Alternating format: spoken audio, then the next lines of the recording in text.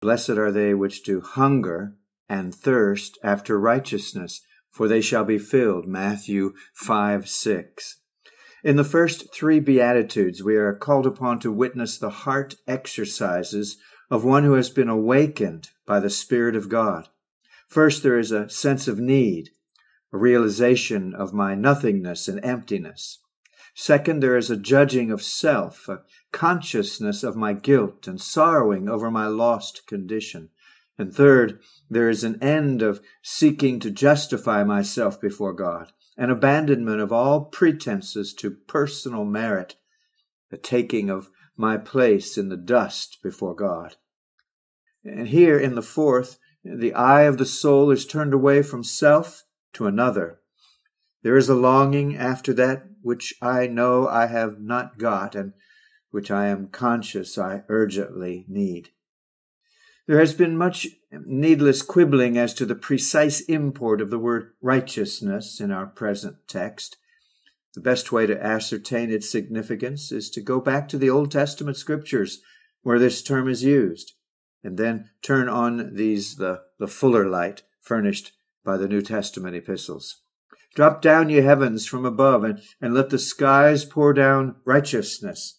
Let the earth open, let them bring forth salvation, and let righteousness spring up together. I, the Lord, have created it. Isaiah 45, 8.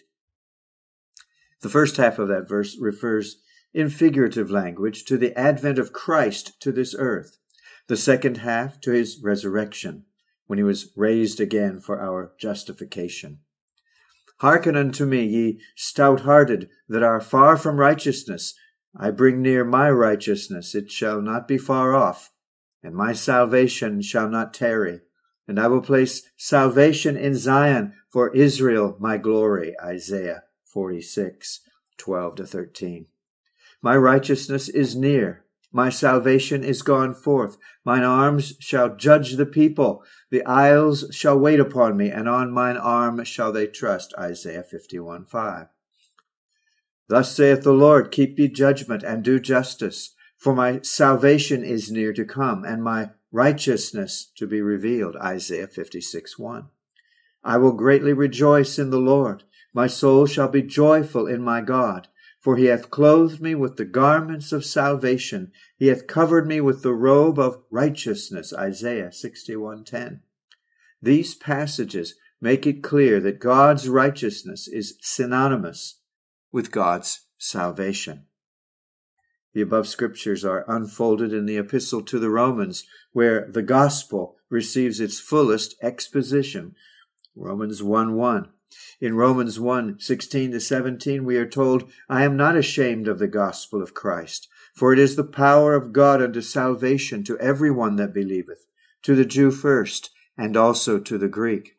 For therein is the righteousness of God revealed from faith to faith. In Romans 3 22 to 24, we read, Even the righteousness of God, which is by faith of Jesus Christ, unto all and upon all them that believe for there is no difference, for all have sinned and come short of the glory of God, being justified freely by his grace through the redemption that is in Christ Jesus. In Romans 5:19, the blessed declaration is made, for as by one's one man's disobedience many were made or legally constituted sinners, so by the obedience of one shall many be made or legally constituted righteous. While in 10:4 we learn Christ is the end of the law for righteousness to everyone that believeth. The sinner is destitute of righteousness, for there is none righteous, no, not one. God has therefore provided in Christ a perfect righteousness for each and all of his people. This righteousness, this satisfying of all the demands of God's holy law against us, was wrought out by our substitute and surety. This righteousness is now imputed, legally placed to the account of the believing sinner. Just as the sins of God's people were all transferred to Christ, so his righteousness is placed upon them. 2 Corinthians 5:21. Such is a brief summary of the teaching of Scripture on this vital and blessed subject of righteousness. And so blessed are they which do hunger and thirst after righteousness. Hungering and thirsting express vehement desire of which the soul is acutely conscious. First, the Holy Spirit brings before the heart the holy requirements of God. He reveals to us his perfect standard, which he can never lower. He reminds us that except your righteousness shall exceed the righteousness of the scribes and Pharisees, you shall in no case enter into the kingdom of heaven. Second, the trembling soul, conscious of its own abject poverty, realizing his utter inability to measure up to God's requirements, sees no help in self. This is a painful discovery which causes him to mourn and groan. Have you done so?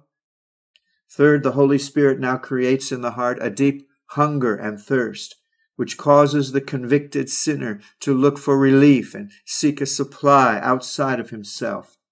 The eye is now directed to Christ, the Lord, our righteousness. Jeremiah 23 6. Like the previous ones, this fourth beatitude begins in the unconverted, but is perpetuated in the saved sinner. There is a repeated exercise of this grace, felt at varying intervals. The one who longed to be saved by Christ now yearns to be made like him. Looked at in its widest aspect, this hungering and thirsting refers to that panting of the renewed heart after God that yearning for a closer walk with Him, that longing for more perfect conformity to the image of His Son. It tells of those inspirations of the new nature for divine blessing, which alone can strengthen, sustain, satisfy. Our text presents such a, such a paradox that it is evident no carnal mind ever invented it. Can one who has been brought into vital union with him who is the bread of life and in whom all fullness dwells be found still hungering and thirsting? Yes, such is the experience of the renewed heart. Mark carefully the tense of the verb. It is not blessed are they which have, but blessed are they which do hunger and thirst. Do you, do you hunger and thirst, dear reader, dear listener? Are you content with your attainments and satisfied with your condition? Hungering and thirsting after righteousness has ever been the experience of God's saints. They shall be filled. Like the first part of our text, this also has a double fulfillment, an initial and a continuous. When God creates a hunger and a thirst in the soul, it is that he may satisfy them when the poor sinner is made to feel his need of Christ, it is that he may be drawn to and led to embrace him. Like the prodigal who came to the Father as a penitent, the believing sinner now feeds on the one figured by the fatted calf. Luke 15:23. He is made to exclaim, "Surely in the Lord have I righteousness." Isaiah 45:24. They shall be filled not with wine wherein is excess, but filled with the Spirit, filled with the peace of God which passes all understanding, filled with divine blessing to which no sorrow is added, filled with praise and thanksgiving unto him who has wrought all our works in us, filled with that which this poor world can neither give nor take away, filled by the goodness and mercy of God till their cup runneth over. And yet, all that is enjoyed now is but a little foretaste of what God has prepared for them that love him. In the day to come, we shall be filled with divine holiness, for we shall be like him. Then shall we be done with sin forever. Then shall we hunger no more, neither thirst any more. Revelation 7:16.